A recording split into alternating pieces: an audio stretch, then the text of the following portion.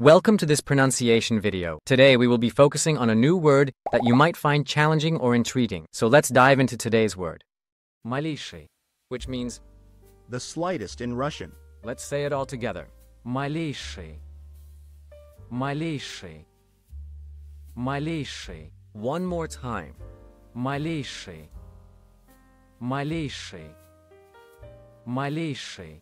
Thank you for joining us on this adventure in pronunciation. Remember, language is a journey, not a destination. Keep exploring, experimenting, and expanding your linguistic horizons. We'll see you next time.